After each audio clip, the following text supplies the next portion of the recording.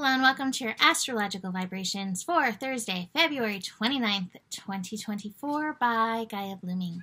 I am Mimi and our energy mantra for today is I value and embrace the Piscean energy of floating and flowing.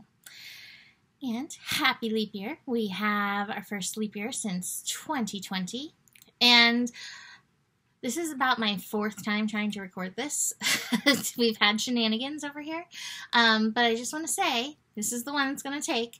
And, you know, heralding back to 2020 makes us think of what that all was. And I just want to remind us that everything cycles around and it cycles around so that we can choose an empowered off ramp that goes in the direction we want to move in. So keep that in mind in your flowing and floating this leap year day.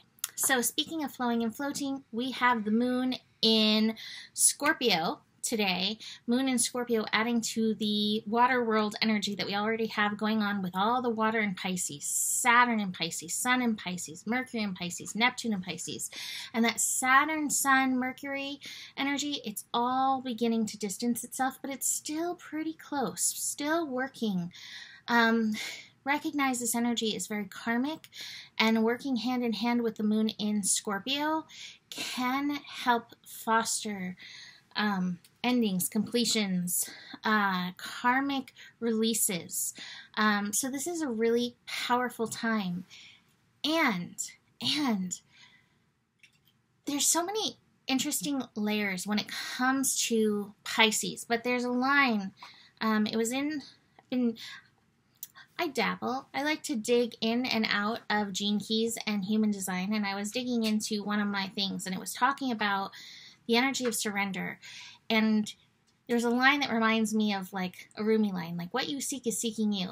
And it was basically like the divine is seeking you even more so than you're seeking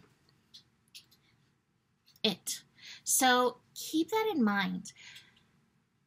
I think our first job of surrender is willingness, and then it moves on to taking the aligned actions. But willingness doesn't need that action, right? Not in, not initially. And so if anything, see where you can show up aligned with willingness in this energy. Willingness for your next soul level steps to come in and come through. And then see where you can follow through, float through on the action. So, astro energies today. We have the sun and the moon trine. This could bring up some karmic emotional energies or just even some reluctant reluctant emotional energies that you haven't wanted to process that need to be felt and dealt with. Truly healing is in the feeling. And so a lot of times we have to go there before we can move on. You know that saying, the only way out is through? This is really true when it comes to us feeling our things. The key is not to get stuck there um, because we can get stuck, you know, in the loop de loops. There's always an off ramp, an off ramp of healing.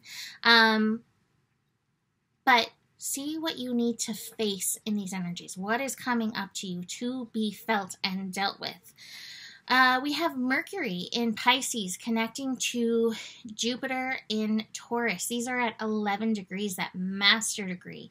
And so this is a call to recognizing the value of things, whether it's the value of the floating, the value of um, feeling what you need to feel, the value of the ahas, the insight that is potentially coming through for you in this energy. It's also lazy cat. And I swear sometimes we need to lazy cat to let the dust inside settle for the stuff to rise up. So embrace, embrace and value the floating of the Piscean energy.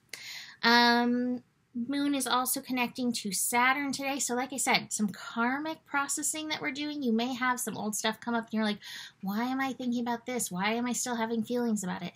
Because you left a little bit of the feelings down under and it needs to come up and be processed. It's okay. You know, allow it to move through.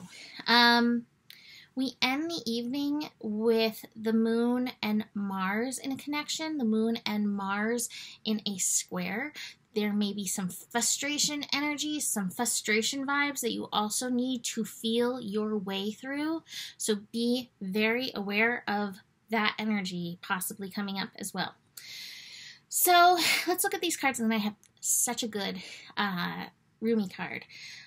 I have pulled this so many times, the silence card. This is a reminder get quiet, connect to spirit, um, but it's a reminder too of creating beautiful, bright future and your creation responsibility, your creation co-creation responsibility with source. We actually have the source card and the nothingness card, which is the Hierophant, and it's a reminder of spiritual law. Um, your energy has impact on the world. Keep that in mind. And again, I think this is so important to say over and over and over again. This doesn't mean you can't get sad. It doesn't mean you can't hit your bottoms that you need to hit and you like try to hold on here. That doesn't do it. Part of the experiencing, part of your agreement was to come in here and feel those things as well. That's part of the co creation. Sometimes we have to feel those bottoms so that we can envision and work to something better and have empathy for others who are experiencing bottoming out because we all do. It's a human thing. Um, but oh, yes. human thing. Hello, Scorpio vibes. That was just Luce. If you heard the hiss, she's got a Scorpio moon. So, yeah, we might feel some of that awareness, awareness of these layers. But again, awareness as we peel through the layers, it helps us move forward. Our final card is the receptivity.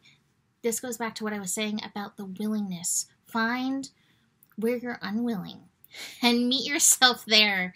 Um, we all have those places of resistance, right? They're, unwilling is a, another word for that resistance. What are you resisting? What are you afraid of?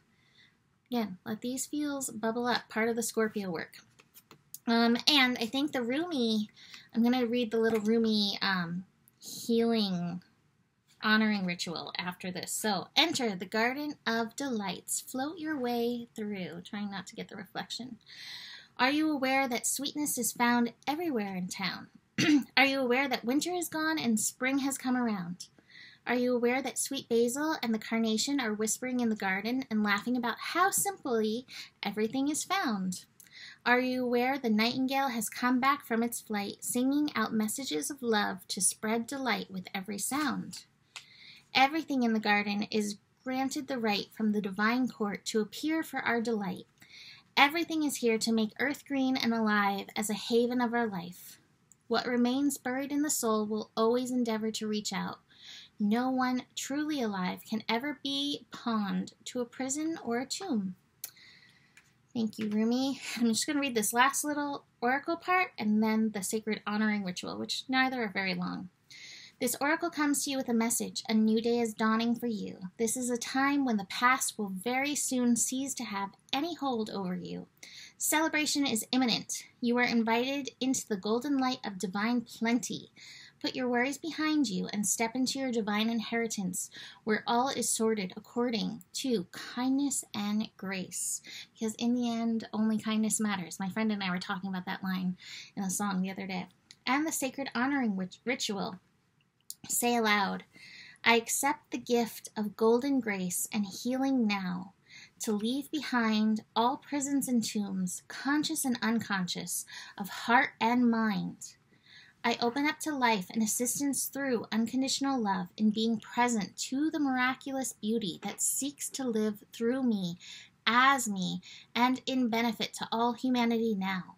I know myself to be worthy of this grace, to be this grace. So be it. And then place your hands gently on your heart and rest for however long feels good. And when you're finished, you have completed the ritual. And I'll leave that there. So you can book a reading with me. Eclipse Energies coming in. Uh, email me for that. Um, check out the uh, mushroom powder and the Goldie powder. I have it linked below the video that my friend is selling. They're wonderful. And besides that, the better it gets, the better it gets. There's more than enough love in the world for you. You have the power, and remember who you are, for you are the solution. Namaste.